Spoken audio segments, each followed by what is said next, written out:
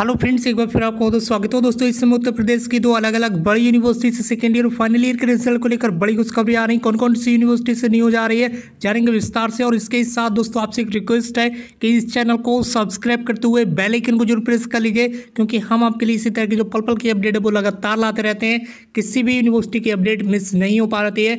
आज की सबसे पहली अपडेट यहाँ पर आ चुकी है, सिद्धार्थनगर विश्वविद्यालय कपिल वस्तु।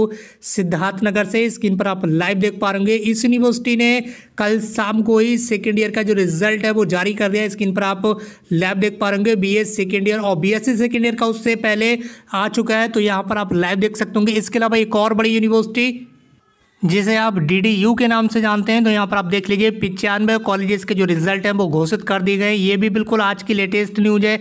जी हाँ दोस्तों, इसे आप हिंदुस्तान सॉरी दोस्तों, इसे आप अमर उजाला न्यूज़पेपर में आसानी से रीड कर सकते हैं। गोरखपुर ज़िले से जितने भी भाई बहन यहाँ पर ध्यान दें, गोरखपुर विश्वविद्यालय से संबद्ध महाविद्यालयों में संचालित स्नातक तृतीय वर्ष, यानी कि ग्रेजुएशन फाइनल ईयर के जो विद्यार्थियों का वो रिज़ल्ट है, बुधवार की देर रात शाम को घोषित कर दिया गया है। विश्वविद्यालय प्रशासन ने ये जो निर्णय है बी प्रवेश में चल रही काउंसिलिंग के दृष्टिगत लिया है। कुलपति प्रोफेसर राजेश सिंह के निर्देश पर परिणाम जारी किया गया है। तो यहाँ पर आप देख लीजिए, यहाँ पर बताया गया है पिचानवे कॉलेजेस का रिज़ल्ट यानी कि स्नातक तृतीय वर्ष के जो रिज़ल्ट हैं, वो जारी कर दिए गए सभी स्टूडेंट्स यूनिवर्सिटी की वेबसाइट पर अपने रिज़ल्ट आसानी से चेक कर सकते हैं। अब मिलते एक नई वीडियो में, एक नई इन्फॉर्मेशन के साथ। Thank you so much for watching this video